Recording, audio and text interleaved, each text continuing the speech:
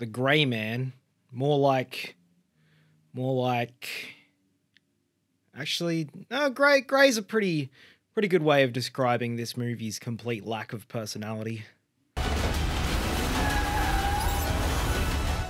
Maybe not anybody.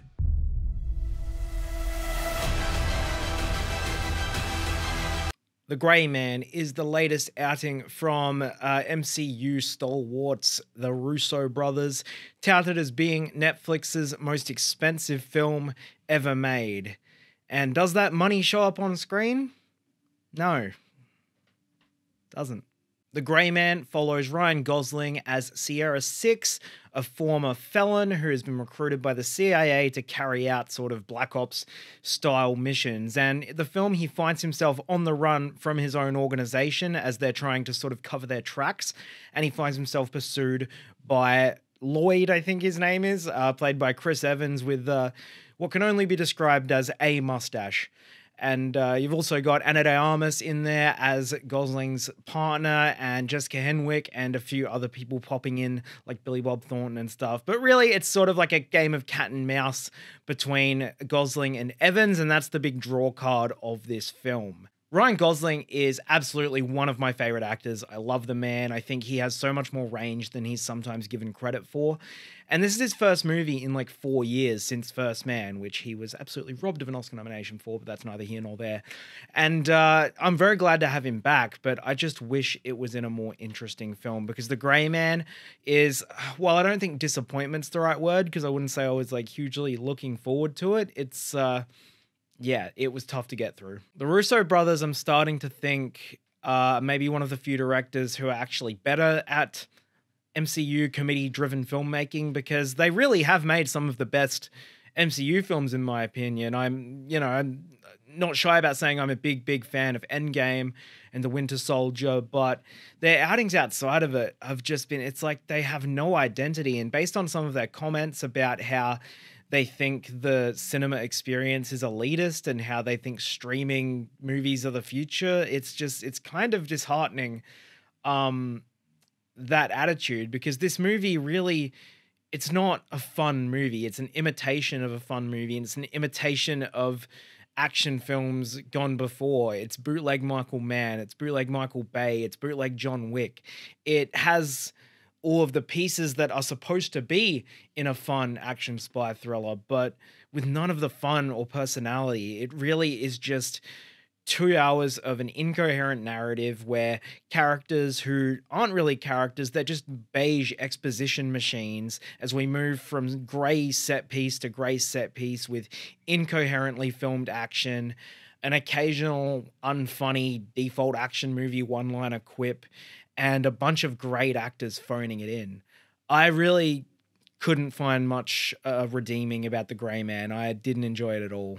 Chris Evans kind of puts himself in Razzie territory here. I love the man, but he, uh, you know, he plays this sort of hammy villain, and uh, it doesn't go too well. I will say the script does him no favors. Um, the dial, there's some pretty, pretty not great dialogue in this thing. Ana de Armas, who I love, and I'm very excited to see her have her own like leading action performance because she was a lot of fun in No Time to Die. She's given pretty much nothing to do here. Jessica Henwick has nothing to do in this. Um, Ryan Gosling, who he probably comes out the winner here, but at the same time, I think it's one of the weaker performances of his career, and he's sort of gone back to that just stoic, cool guy. Except he just he looks bored. He looks like he's sleepwalking the entire time. You know, he's still fun to see on screen, and he's uh, he's pretty jacked uh, if you're into that. But he just, I don't know. I felt like there's a narrative in here where they could have tapped into his comedic talents. You know, this could have been a fun, just over the top cat and mouse action movie, but it really just comes down to that attitude they have towards filmmaking, this algorithm based filmmaking where they're trying to make stuff designed for streaming services. And I really think I'm about ready to give up on streaming action movies because they're just, they're all the same. And I don't know where the money for this went. I know a large chunk of it would have gone towards paying the stars, but it just everything in it looks so fake. Every action sequence looks the same. It's always obscured by like fog to hide the bad VFX. Half of it's just underlit. You can't see what's happening. Um there wasn't a single fun action sequence. There was a bit on a train that was kind of cool, but other than that, there wasn't really a single fun action sequence. There was some fun moments of chemistry between Gosling and young Julia Butters, but there was just few and far between. And I really, really hated the experience of watching this film. And um, if the Russo brothers keep getting shit like this funded, it is kind of a a sad harbinger for what's to come from the film industry, um, especially with their attitude towards um, wanting to destroy the cinema experience. Because to me, the cinema is a sacred place, and I really don't want that to go away. I'm sick of talking about this movie. The Gray Man, I am giving The Gray Man a 2 out of 10. I absolutely hated it. I know some people found it fun and it's fun to see like actors we love on screen, but I just think we need to be doing better, especially with the amount of money this cost, the amount of actual like good original movies, you, even action movies. You could have made like three decent action movies for this budget. It's just a complete waste of talent and resources and i kind of hated every single second of it and unless you're just such a huge fan of these actors that you have to see it or if i don't know you just i don't really recommend this one if you're on the fence about seeing it i think you can probably give it a miss because it doesn't do anything that any of these other streaming actioners haven't already done so that's my review of The Grey Man. Let me know what you thought about it. Was I being too harsh? I don't know. I'm just kind of getting sick of these kinds of films. And I think we stuff like Mission Impossible and John Wick proves that you can do this shit well. It just takes effort and planning, and I don't know. I don't know what it takes. You know, uh, could I do any better? I don't know, but just I'm sick of it.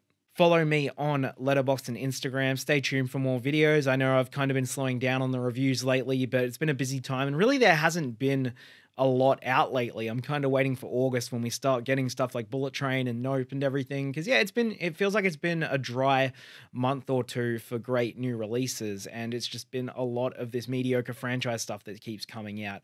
But uh, stay tuned. I'm going to be heading over to Melbourne next month for the Melbourne Film Festival, so I'm going to be seeing a lot of stuff there, a lot of exciting, uh, anticipated foreign films and indies and stuff. So I don't know if I'll be reviewing everything I see because I'll be seeing a lot, but I maybe I'll be doing some recaps of what I see at the festival. So stay tuned for all of that. Uh, finally, gonna get back into seeing a bunch of stuff. Uh, thank you very much for watching. Have a great day. Don't watch The Grey Man, it sucks.